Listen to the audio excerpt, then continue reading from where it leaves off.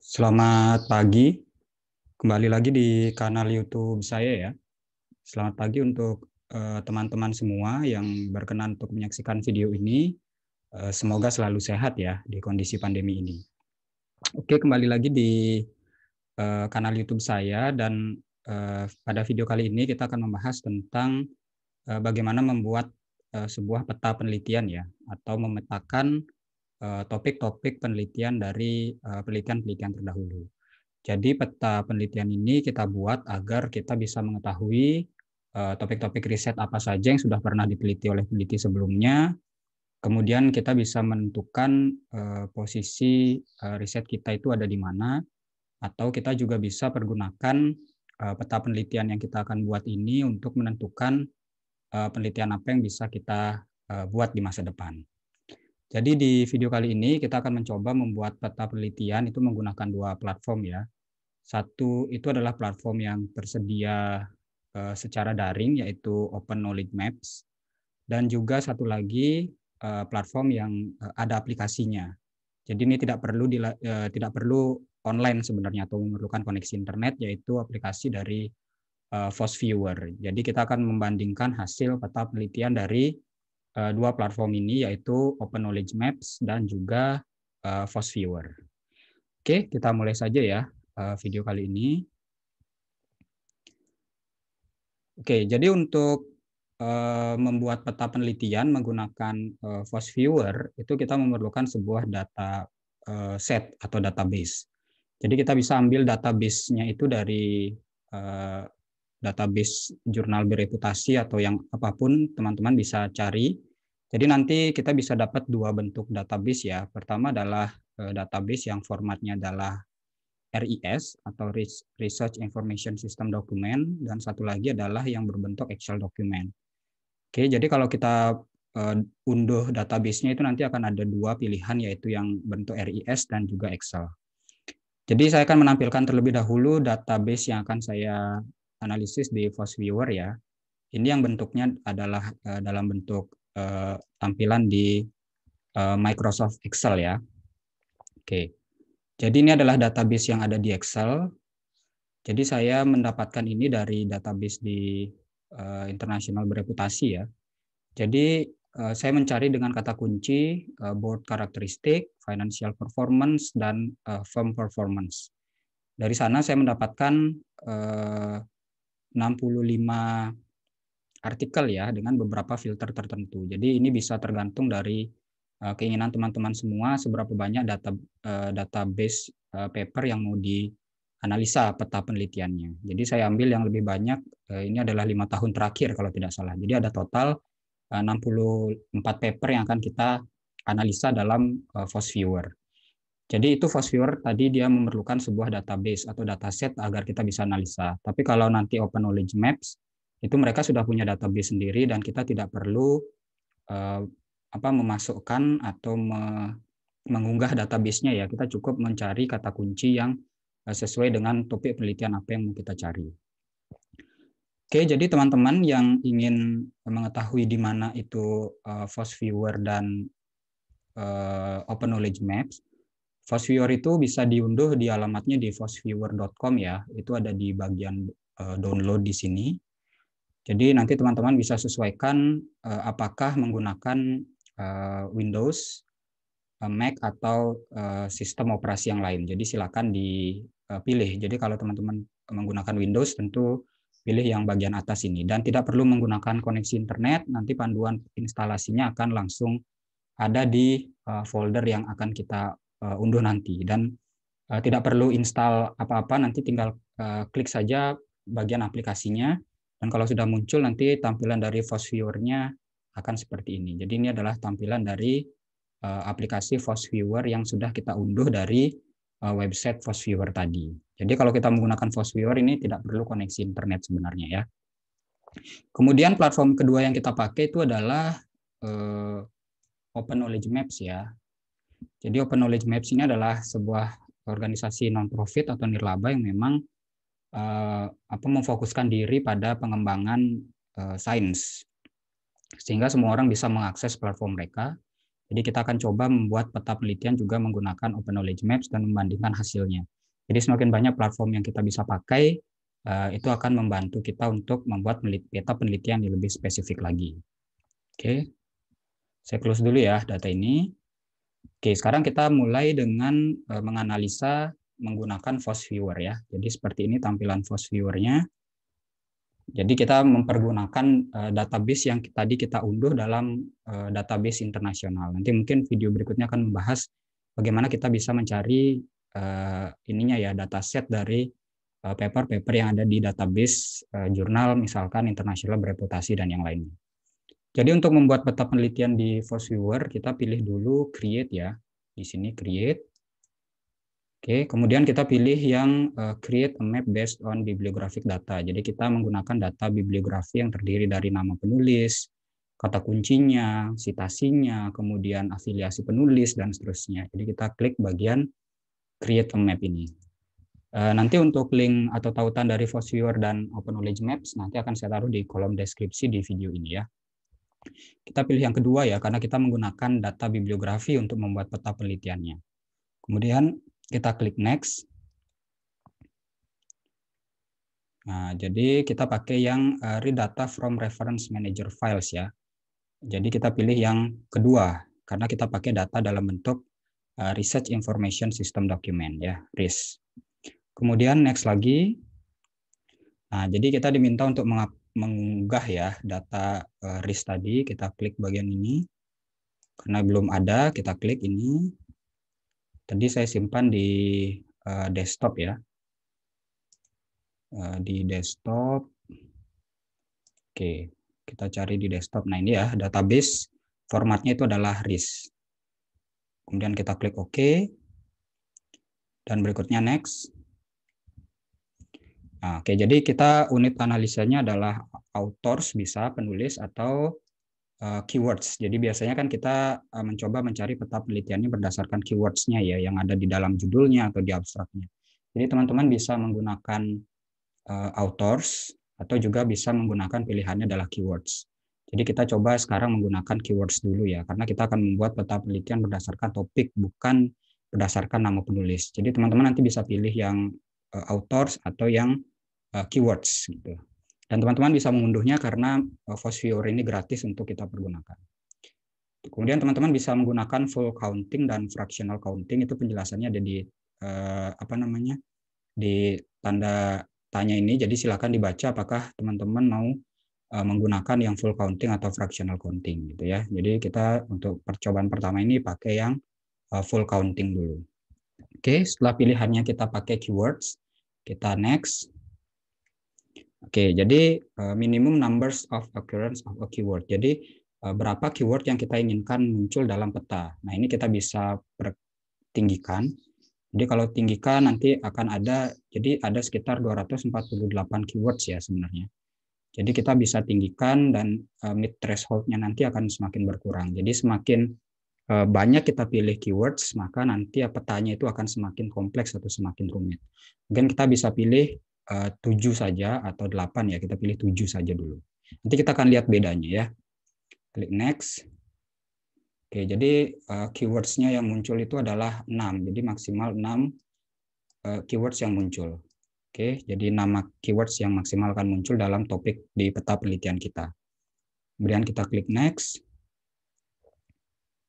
Oke, jadi beberapa keywords nanti yang akan muncul dalam peta kita itu itu ada corporate governance, board characteristic, financial performance, board of directors, uh, firm performance gitu. Jadi kalau kita ini merasa kurang gitu ya, nah kita bisa back lagi. Kita oh ternyata ini belum menjelaskan nih secara spesifik peta yang saya harapkan gitu. Jadi kita bisa back, back lagi dan ini kita bisa tinggikan.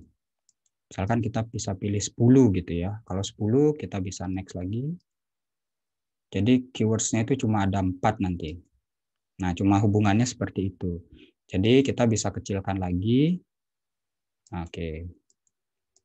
Kita bisa kecilkan lagi ya. Misalkan kita pilih uh, hanya dua. Itu maka nanti uh, kata kunci yang muncul itu akan semakin banyak. Oke, jadi semakin banyak akan ada sekitar uh, 50 dari uh, keywords-nya. Jadi kalau teman-teman nanti jika kesusahan untuk apa menganalisa petanya juga bisa kembali. Silakan dipilih. Misalkan kita pilih tiga. Tiga saja ya untuk minimum numbers of appearance of a keywordnya. Jadi nanti akan ada sekitar 21 uh, kata kunci spesifik yang akan muncul dalam peta kita. Nah di sini kita bisa hapus juga ya jika ini enggak uh, kita inginkan dalam peta kita. Misalkan kita nggak mau ada kata India kita bisa hilangkan. Regression analysis kita bisa hilangkan misalkan kemudian human ini juga kita bisa hilangkan dan uh, governance ini mungkin sama seperti corporate governance di atas ya. Jadi teman-teman bisa melihat kata kunci mana yang teman-teman ingin hilangkan dalam uh, peta nanti. Oke, jadi kita menghilangkan empat kata kunci ya. Oke, setelah itu kita klik finish. Dan berikutnya kita tinggal uh, menunggu petanya. Oke, jadi ini peta yang uh, sudah dibuat oleh Fast Viewer ya berdasarkan dari uh, ini kita kata kunci tadi. Jadi menjelaskan tentang hubungan-hubungan dari masing-masing uh, topik penelitian itu. Kalau teman-teman misalkan uh, tidak ingin latarnya putih bisa teman-teman klik black jadi biar lebih jelas mungkin atau bisa ganti overlay visualisasinya dengan uh, apa namanya kuning yang menunjukkan kekuatan hubungannya. Jadi kuning itu artinya kekuatan hubungan itu sangat besar ya. Jadi kalau teman-teman uh, bold atau tunjuk misalkan from performance, maka garis dia dengan gender diversity ini akan uh, kuning yang menunjukkan bahwa uh, riset ini diteliti di tahun 2018 atau yang paling sering diteliti di tahun 2018. Jadi uh, tren riset pada saat itu itu meneliti tentang performance gender diversity dan ownership structure gitu. Jadi ini membantu kita untuk melihat uh, ini riset ini dilakukan pada tahun berapa. Jadi kalau kita lihat di garis uh, yang ada di peta kita, kita ingin lihat misalkan di 2018 berarti yang paling sering diteliti itu adalah ownership structure, firm performance dan uh, gender diversity itu topiknya. Kemudian kalau density ini kepekatan ya. Nah, kita bisa lihat kalau berdasarkan kepekatan ini kita bisa lihat yang paling sering diteliti dalam topik ini tuh ada financial performance, board of directors, corporate governance, dan board karakteristik. Jadi uh, empat variabel ini yang paling sering diteliti untuk topik dari uh, board uh, kata kunci yang kita pakai adalah board karakteristik, financial performance, dan uh, firm performance. Berarti corporate governance itu udah uh, sering dipakai dalam topik seperti ini. Jadi saya lebih suka menggunakan network visualisasi ya. Ini skalanya bisa kita besarkan agar lebih jelas mungkin atau uh, size uh, variationnya bisa lebih dibesarkan ukurannya.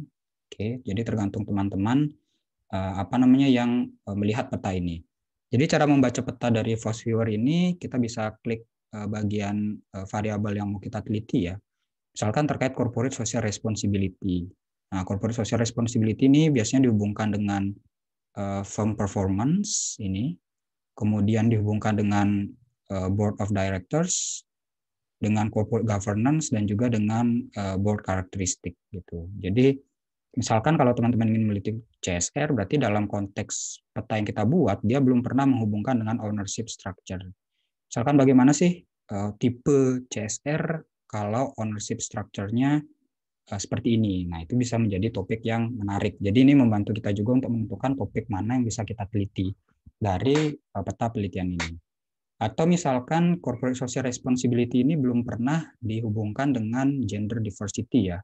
Jadi ini kan tahun yang kita pakai adalah rentang tahun 2014 sampai 2018. Jadi corporate social responsibility ini belum, pernah dalam konteks peta kita ya. Mungkin di paper lain sudah ada, tapi dalam konteks peta kita dari 64 paper tadi itu belum ada yang menghubungkan dengan gender diversity. Nah, jadi penelitiannya bisa kita hubungkan apakah eh, gender diversity ownership structure itu akan berpengaruh terhadap uh, tipe atau luas pengungkapan dari corporate social responsibility. Jadi seperti itu contoh jika kita ingin menggunakan peta ini dalam uh, membuat topik penelitian kita. Kemudian yang paling sering diteliti ya tentu adalah corporate governance ya. Kalau kita uh, diamkan kursornya di bagian corporate governance ini, dia paling sering diteliti itu dengan firm performance, corporate social responsibility, ownership structure, Eh, kemudian financial performance, kemudian board karakteristiknya itu adalah board size, CEO duality, board composition, gender diversity dan seterusnya. Jadi ini sudah topik yang paling uh, sering untuk kita teliti.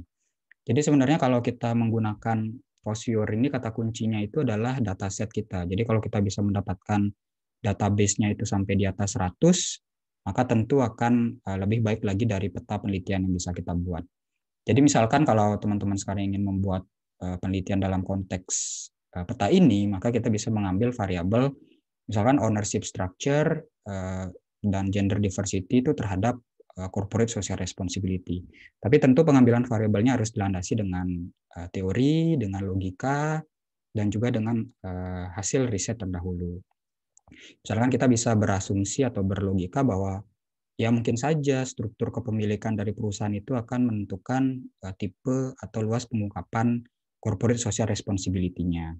Atau semakin banyak uh, wanita ya atau perempuan dalam susunan manajemen perusahaan itu akan semakin menguatkan uh, pengungkapan CSR ya. Itu bisa kita buat untuk penelitian berikutnya karena dasar dari uh, peta ini itu belum ada yang meneliti misalkan ownership structure, gender diversity, dan uh, luas pengungkapan dari uh, corporate social responsibility. Gitu.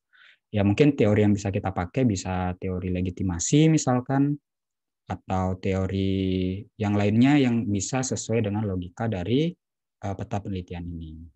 Oke, jadi ini menggunakan Fast Viewer ya untuk menggunakan uh, melihat peta penelitian apa yang sudah dilakukan dan uh, topik penelitian apa yang bisa kita uh, teliti gitu. Jadi ini topik penelitiannya dan teman-teman bisa utak-atik di bagian kata kunci. Semakin banyak kata kunci yang kita bisa masukkan maka peta penelitiannya akan semakin kompleks lagi.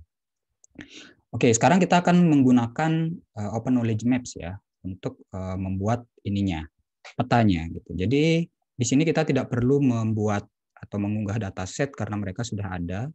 Jadi mereka pakai data setnya database-nya dari base.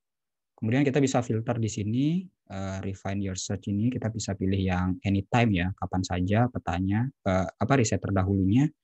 Yang paling relevan, kemudian tipenya kita pilih hanya satu ya, yaitu jurnal.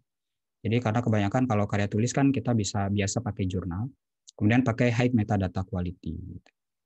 Oke, kemudian kita enter your search term ya. Jadi misalkan uh, kita bisa pakai uh, financial performance gitu ya financial performance dan uh, board karakteristik gitu. Board karakteristik gitu. Jadi uh, di sini kita nggak perlu mengunggah dataset, mereka yang akan membuatkan petanya ya. Kita bisa klik go uh, dan mereka nanti akan membuatkan petanya. Jadi petanya sedang dibuat. Jadi kita nanti akan bandingkan bagaimana peta dari uh, ini ya apa namanya Force Viewer dengan Open Knowledge Maps. Tentu mungkin nanti akan berbeda karena input datanya juga berbeda. Kalau di Viewer ini kita memasukkan data set sejumlah 65 paper. Kalau papernya itu sampai 1000 misalkan ya tentu hasil dari peta ini akan uh, sangat kompleks sekali karena ini kita pakai hanya 65 paper. Jadi teman-teman bisa nanti pakai mencoba-coba dengan memasukkan paper yang lebih banyak lagi ke uh, Viewer ya.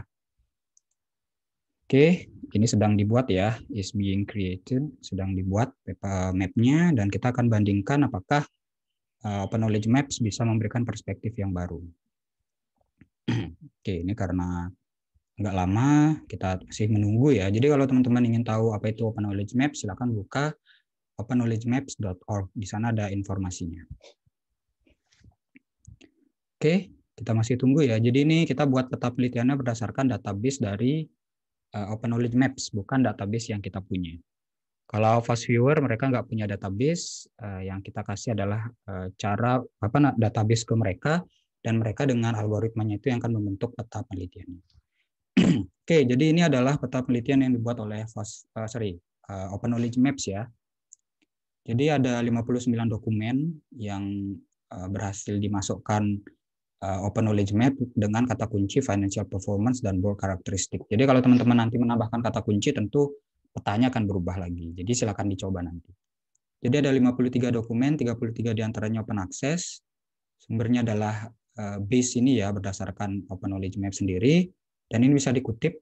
Nah, jadi kalau teman-teman nanti buat skripsi atau karya tulis lain ini bisa dikutip ya. Nah, oke, nanti dimasukkan di daftar referensinya. Oke, ini petanya yang membedakan adalah kalau di uh, apa namanya di Fast Viewer itu dia ada garis-garis ini ya menunjukkan hubungan antar variabel. Jadi secara spesifik dia udah menunjukkan hubungan antar variabelnya. Tapi kalau di Open Knowledge Maps dia membuat peta dalam bentuk bola yang berisi di dalamnya adalah topik-topik apa yang diteliti dan paper yang mewakili dari topik tersebut. Jadi kita bisa kombinasikan antara Force Viewer dan uh, Open Knowledge Maps. Jadi di sini ada contohnya di sini ada firm performance ya, uh, corporate governance, business enterprises. Jadi kita bisa klik di sini dan ini adalah paper-paper yang mewakili dari uh, ininya topik ini. Jadi teman-teman bisa langsung membaca papernya jika tertarik atau melihat video di channel ini yang membahas khusus tentang Open Knowledge Maps. Jadi kalau gemboknya dibuka berarti dia masuk ke uh, open access. Jadi ini misalkan ada penelitian dari Akbar all ya tahun 2020 itu judulnya adalah corporate governance corporate governance and firm performance in Pakistan. Jadi kalau kita cek di uh, Fast Viewer itu juga hasilnya adalah corporate governance dengan firm performance. Gitu. Jadi sudah ada yang pernah meneliti uh, corporate governance dengan uh, firm performance. Jadi kalau teman-teman ingin tahu lebih lanjut tentang papernya, silakan diklik paper ini. Oke, dan kita bisa buka langsung uh, websitenya. Karena ini adalah open access, jadi bisa diunduh. Atau baca dulu abstraknya, jadi dia menggunakan variabelnya itu adalah CEO duality dan board characteristic. Dan ini juga ada di Force Viewer ya. CEO duality sudah pernah diteliti juga dihubungkan dengan uh, corporate governance. Gitu. Atau topik yang lain misalkan ada kita bisa pilih ya uh, ini corporate social responsibility. Nah ini topik dari CSR tadi. Nah ini corporate social responsibility reporting quality board characteristic and corporate social reputation. Oke. Jadi ini tahun 2015. Kalau kita lihat ya tadi CSR juga dihubungkan dengan corporate governance ya. Kemudian ada firm performance juga. Tapi ini masih ini masih perlu diteliti juga sih firm performance dengan corporate social responsibility dan juga dengan board karakteristik. Nah, ini menarik nih gitu. Kemudian topik yang lain lagi kalau di Open Knowledge Maps mereka buat ownership concentration ya. Kemudian muncul juga audit committee dan yang paling besar bolanya adalah ini jadi yang di Open Knowledge Maps itu cirinya sama seperti Viewer. Berarti kalau corporate governance dia memiliki uh, apa bentuknya paling besar berarti dia memiliki hubungan yang paling banyak dengan variabel-variabel yang lain. Sedangkan yang paling kecil di sini kan uh, board of trustees dan juga board of directors, ada uh, yang paling kecil juga industrial performance ya. Nah, itu adalah topik-topik yang bisa kita teliti. Kalau corporate governance dia sudah jenuh lah ya karena sudah banyak diteliti dengan variabel yang lain. Dan juga dari Open Knowledge Maps dia menghasilkan peta yang sama juga di mana isu tentang uh, board structure dan ini juga yang paling besar ya bolanya. Jadi bola yang paling besar itu menunjukkan uh, topik yang paling sering diteliti. Nah, itu kita klik di sini dan contoh papernya ada banyak ya. Jadi teman-teman bisa cek Nah, ini relationship between board characteristic and firm financial performance in Malaysia. Jadi board karakteristik tadi dengan firm performance. Kalau kita lihat ya firm performance di Viewer juga udah pernah dengan board karakteristik gitu. Kemudian ada juga uh, board karakteristik and uh, financial performance. Ya, di sini juga ada board karakteristik ini ya dan juga financial performance. Nah, ini financial performance. Board karakteristik dan financial performance. Nah, jadi seperti itulah cara menggunakan atau mengkombinasikan Open Knowledge Maps dan uh, FOSS Viewer ya. Jadi kita bisa menggunakan dua platform ini untuk menentukan topik riset apa yang sudah pernah diteliti sehingga petanya terlihat dan kita bisa melihat uh, peluang apa sih yang bisa kita teliti di masa depan dari uh, database seperti ini. Nah, di video ini saya khusus menggunakan penelitian-penelitian yang uh, paradigmanya adalah kuantitatif ya. Jadi ini sangat jelas terlihat hubungannya. Tapi kalau teman-teman ingin mencoba atau teman-teman yang suka menggunakan paradigma kualitatif, nah silakan teman-teman mencoba menyusun uh, peta penelitian menggunakan Open Knowledge Map dan Force Viewer ini dengan paradigma dari uh, kualitatif. Jadi hasilnya nanti bisa lebih uh, terlihat topik mana yang bisa diteliti kalau menggunakan paradigma kualitatif. Kalau selama ini saya belum pernah menggunakan Force Viewer dan Open Knowledge Maps ini dalam topik dengan riset ini ya, paradigma eh, apa namanya kualitatif gitu. Jadi kebanyakan dalam paradigma kuantitatif dan teman-teman bisa mencoba jika teman-teman ingin menggunakan paradigma eh, dalam bentuk kuantitatif atau kualitatif. Jadi silakan dicoba. Baik yang menggunakan Force Viewer ini ya, Fast Viewer atau yang menggunakan Open Knowledge Map. Jadi silakan teman-teman bisa mencoba uh, topik mana uh, dengan sudut pandang apa teman-teman ingin teliti seperti itu. Oke, demikian ya uh, video kali ini tentang bagaimana kita menyusun peta penelitian menggunakan dua platform yang berbeda, baik itu menggunakan Force Viewer atau Open Knowledge Maps. Jadi teman-teman bisa memilih mau menggunakan platform yang mana atau mengkombinasikan yang mana itu terserah. Tapi yang paling penting adalah dengan membuat peta penelitian itu kita bisa melihat uh, tren ya atau riset-riset terdahulu itu sudah uh, pernah meneliti apa sehingga di riset ke depan itu kita bisa membuat sebuah uh, originalitas riset atau novelty riset yang lebih uh, baik lagi atau menyempurnakan riset-riset sebelumnya sehingga uh, ilmu atau bidang yang kita tekuni itu semakin berkembang. Jadi itu tujuan kita menggunakan uh, atau menyusun peta penelitian. Jadi dengan bantuan platform dalam bentuk uh, Viewer dan Open Knowledge Maps ini kita bisa melihat uh, tren riset terdahulu dan menentukan oh saya posisi riset di masa depan akan meliti uh, seperti ini. Oke, demikian video kali ini ya tentang membuat peta penelitian menggunakan uh, Force Viewer dan Open Knowledge Maps. Jika teman-teman ada komentar uh, silakan tuliskan komentarnya atau ada kritik dan saran yang membangun silakan tuliskan juga kritik dan uh, sarannya di kolom komentar. Dan uh, semoga video ini bermanfaat ya buat teman-teman yang ingin melakukan uh, penelitian. Uh, dan semoga teman-teman semua dalam kondisi sehat uh, di masa pandemi ini. Terima kasih telah menyaksikan video ini dan kita akan kembali lagi di video berikutnya ya. Terima kasih.